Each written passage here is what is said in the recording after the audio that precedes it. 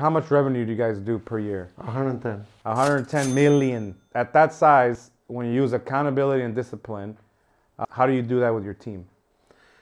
Everything is commitment. When you hire the people, they, they first of all they send you the resume, but the resume doesn't mean anything.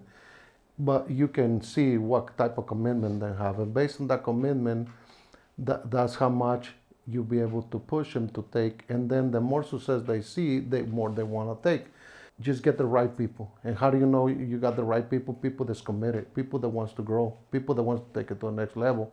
And we don't have a, a, a, a scale of how much they should be making. For example, a project manager can only make to 140,000. Me, unlimited. Go Yeah, so you you don't limit uh, position. yeah positions. You don't limit their revenue. You don't limit what they what they're gonna make. It's up to them to work hard, and they can they can jump levels uh, and and keep growing. 100%.